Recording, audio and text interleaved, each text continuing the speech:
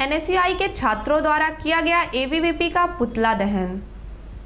विगत दिनों एबीवीपी के पदाधिकारियों द्वारा मंदसौर में शिक्षकों का अपमान कर, उन्हें डरा धमकाकर पाँव छुपवाने की निंदा करते हुए बुधवार को एनएसयूआई के कार्यकर्ताओं ने कॉलेज चौराहे में एबीवीपी का पुतला दहन किया।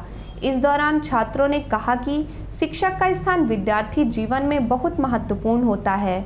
और जो संगठन शिक्षक का सम्मान नहीं कर सकता, वो छात्रों के हित के लिए क्या कार्य कर पाएगा?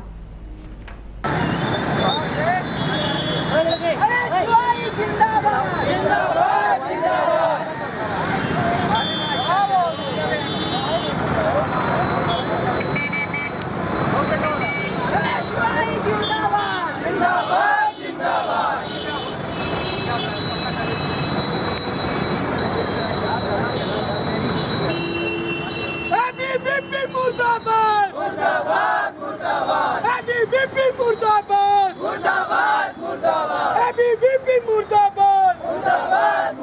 मैं अभिषेक कुमार तिवारी हूँ मैंने स्वयं को सोशल मीडिया का संभागीय समन्वयक हूँ। आपको बता देना चाहता हूँ कि मंदसौर में ए बी कार्यकर्ताओं पद- पदाधिकारियों ने टीचर से कॉलेज में टीचर से वसूली करते हुए अपना दबाव बनाते हुए पैर पड़वाया जिसकी हम लोगों ने निंदा करते हुए और पूरे प्रदेश में पुतला दहन कर रहे हैं ए का।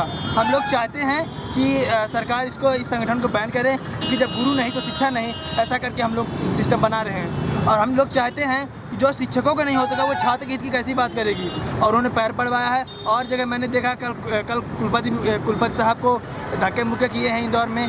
मैं कुल मिलाकर बता देना चाहती हूँ कि विद्यार्थी परिषद, अखिल भारतीय विद्यार्थी परिषद, छात्रों न कि टीचरों से किसी भी प्रकार से उनके साथ में नहीं है। और यह हमेशा निंदनीय कृत्य करती रहती है, जिसकी मैं घोर निंदा करता हूँ।